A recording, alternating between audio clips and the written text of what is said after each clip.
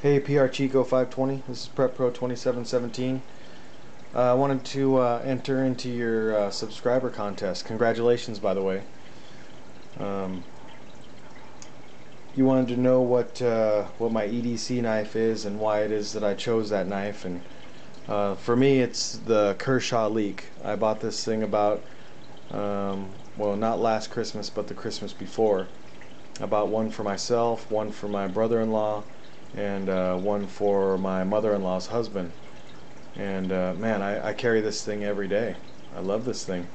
Uh, a knife is a tool to me, so I don't buy them just because they're pretty. Even though that, I, even though I really like the way this knife looks, um, I use it. I use it all the time. I use it. I'm, I'm, I would say every day. I think I use it every day. Um, it's pretty. It's a pretty unassuming knife. It's not the biggest thing on the block people aren't going to grab their kids and run for cover when I pull this thing out and uh, and use it. So uh, I liked it so much that uh, I bought another one in OD green, the black blade. So now when I want my outdoor look, I'll take the OD knife. When I want to dress up a little bit, go out on the town, I'll take this one. Between the two, I, I think I like the look of this one, but I like the way that this one's built. Let me explain why.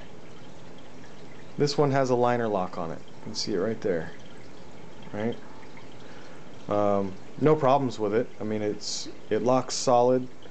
Um, works great, but uh, I like how this one's built. The lock is actually part of the scales. If you can see that right there. So I thought that was I thought that was pretty cool. It just makes it a little more stout.